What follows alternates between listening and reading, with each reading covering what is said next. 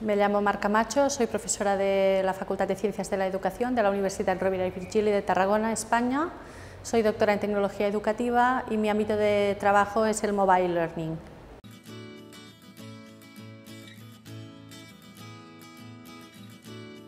Las organizaciones tienen bastantes retos a los que hacer frente. Uno de ellos, respecto a la competencia digital, a su desarrollo y a su adquisición por parte de tanto de sus alumnos como de su profesorado, es sobre todo pues, eh, diseñar acciones tanto de formación como de actualización, para que éstas puedan impactar en el aprendizaje de los chicos y de las chicas, por una parte.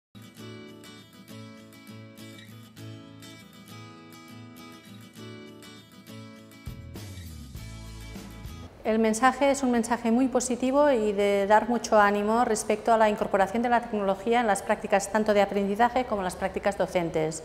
No hay que tener miedo a la tecnología, la, tecnología la llevamos siempre encima, es nuestro, nuestro aliado, los teléfonos móviles son nuestros aliados y tenemos que contar con ellos también para aprender y también para enseñar. No tener miedo y probar y ir probando hasta que nos salgan bien las cosas, porque nadie nace enseñado, ¿no? Por tanto, es una cuestión de un aprendizaje, un aprendizaje que puede ser que dure a lo largo de la vida, porque la tecnología nos va, va cambiando a medida que nosotros también vamos vamos creciendo y vamos avanzando, ¿no? la sociedad avanza los avances, y, y la tecnología pues también va, va generando diferentes cambios, va cambiando de forma, va cambiando de, bueno, va reubicándonos a todos y por tanto hay que saber convivir con este cambio y hay que saber convivir eh, en, este mundo digital.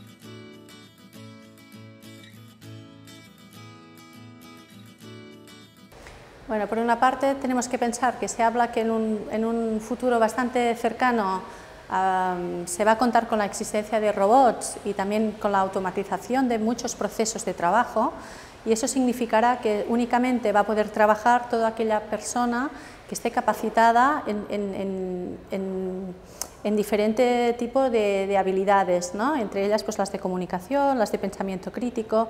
Claro, un robot siempre podrá suplantar a un humano en cuanto a la elaboración, a, procesos que son físicos y fáciles, pero en procesos de, razonamiento, cognitivos, etcétera, pues eso ya es más difícil, aunque la inteligencia artificial en ese sentido también está logrando grandes avances. Por otra parte, ¿cómo podemos, ¿cómo podemos hacer que la tecnología nos humanice? Pues dándole mucho sentido a aquello que hacemos con tecnología.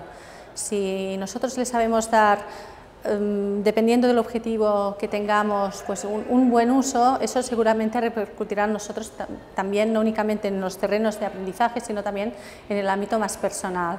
Y también se habla de este concepto que es el bienestar digital, que es cómo una persona se siente cómoda, que es lo que debemos buscar entre todos, ¿no? desde las instituciones, los profesores, también los estudiantes, ver cómo la tecnología favorece que, nosotros, eh, que nuestra vida sea mejor ¿no? y que nosotros siempre nos sintamos cómodos.